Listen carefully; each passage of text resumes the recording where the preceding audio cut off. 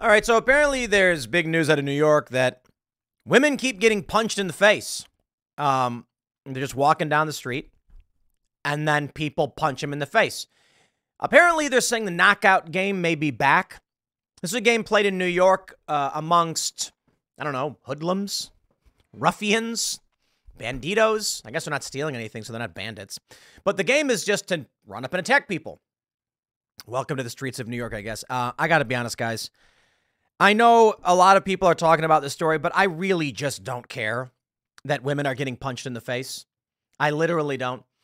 You know, the thing about New York is that it's a liberal stronghold. You can't have a gun. The criminals are being let out. And these people just keep voting for it over and over and over again. And so I'm, I'm at this point when I've described this before where, like, listen, I ain't even mad. Okay? You voted for it. You live the way you want to live. Who's to complain? Now, me, you know, I live out here in West Virginia. And West Virginia, we have constitutional carry. So I have guns, lots of them. And I ain't had no problems. Now, don't get me wrong, like the our business has been targeted and stuff, and the police help uh, come and help take care of that stuff. It's not always been perfect. We had the cops show up here, and even though I said, do not enter my property, they said, we're going to do whatever we want. That's not fun. But for the most part, with um, we're we're about to completely relocate in like a week to our new studio, which is like we're like half there. And um, you know, my attitude is ain't nobody coming coming onto my property and messing with me because, you know, the way we handle things out here is very different to the way they handle things out there. So for these ladies posting these videos talking about how uh, they're getting punched in the face, I mean, my attitude is plainly just like, yeah, okay, I mean, that's great. Like, if a guy came to me and said, I voted for them to build a statue of Pac Man, and then later he posts a video where he's like, they're building a statue of Pac Man, I'd be like, that, that good for you. You know what I mean? Like, I think the problem a lot of conservatives have is that because they don't want to live this way, they immediately assume this is out of the ordinary for what the average voter in New York wanted. Now, let me, let me stress this. These women may not be happy they're getting punched in the face, for sure. But the majority of people in New York who, with smiles on their faces, keep voting for this. Yo, I watched the protests. I'm not even being cute. These protesters come out and they're like, yes, we want the criminals to be let go. The cops are bad. All right, well, let's hear what these uh, these ladies have to say about getting punched in the face. You guys, I was literally just walking and a man came up and punched me in the face. Oh my god, it hurts so bad. I can't even talk. Literally, I fell to the ground and now this giant goose egg is forming and I'm like, oh my god, it looks so crazy. So I just got punched in the face walking home. I was literally like leaving class. I turned the corner and I was looking down and I was looking at my phone and like texting and then out of nowhere, this man just came up and hit me in the face. I'm like actually in shock right now. I'm just like walking home because what else do you do? Um, uh, yeah, so I I have fallen victim to uh, the the um, men in New York City lifting an elbow or trying to punch innocent girls on the street. Except I wasn't on my phone. I was with my coworkers Yeah, we were just talking. walking in Times Square. So be safe out there. It's my first TikTok. Wow, they these they have like huge welts on their head. That's crazy. NBC News says several women have come forward on social media showing incidents in which they said they were punched by men while walking the streets of downtown Manhattan in broad daylight in the last month. Multiple videos were uploaded. One woman said she was assaulted walking from class. New York police said they made an arrest of uh, in one of the incidents and are investigating another. While police couldn't uh, wouldn't confirm that the incidents described in the TikTok videos are those they're investigating, they shared that they're looking into cases that are very similar. Officials said it's unclear whether the two incidents they are investigating are connected. The videos have circulated amid widespread perceptions in the U.S. that crime is rising, despite recent FBI data that suggests it decreased last year. Concerns over public safety have continued to loom in New York City. A series of recent high profile crimes in the subway prompted Governor Hochul to send the National Guard in. Blah, blah, blah. Look, come on.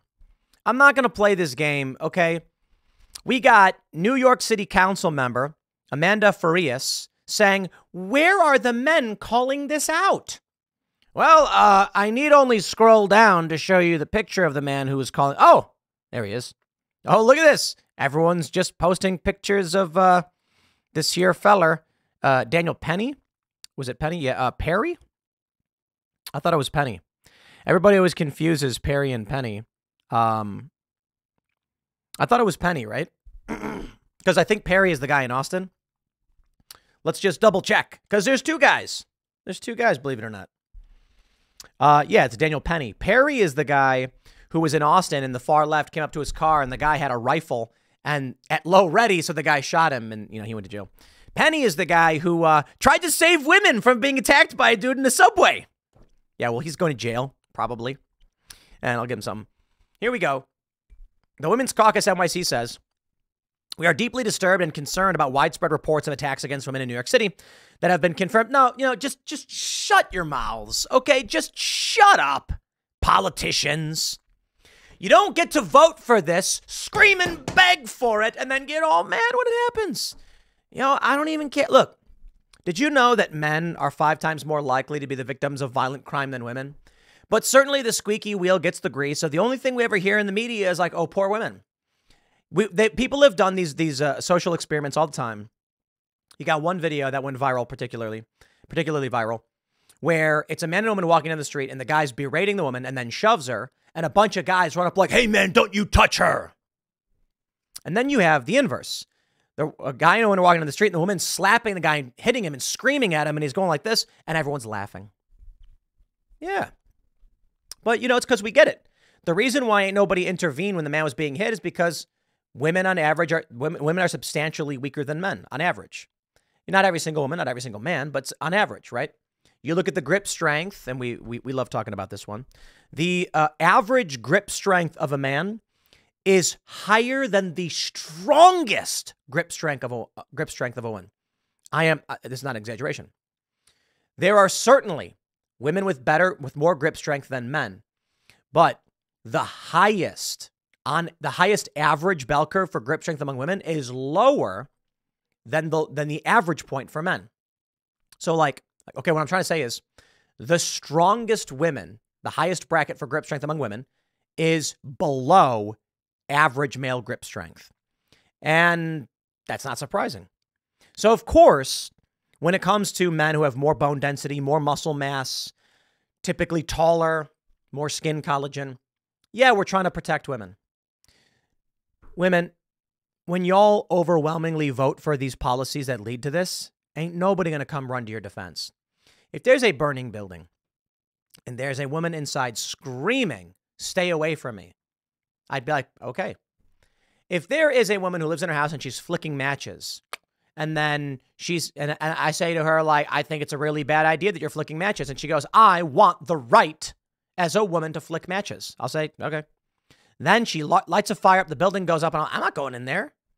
You expect me to run in there? No, get out of here, man. Look, it's teamwork, it's responsibility. You want the hero to save the day? Do you want the big strong man to run and kick the door down and rescue from, from the fire? Then you have to at least agree to be responsible. If a this is the funny thing, you see all these videos, they they they they, do man in the street interviews where uh, numerous people have done this now.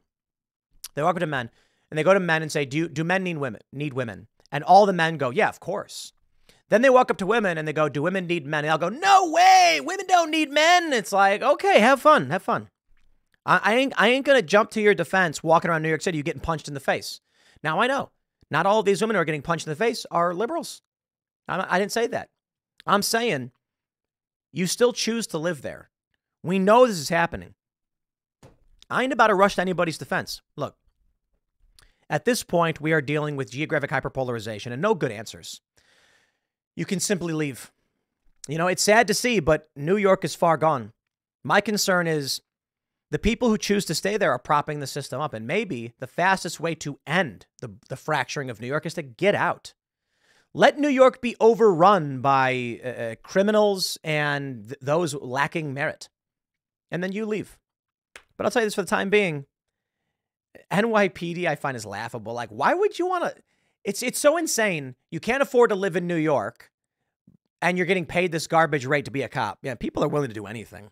Let New York crumble. A lot of people say, no, it's one of our great cities, but okay, fine, fair point.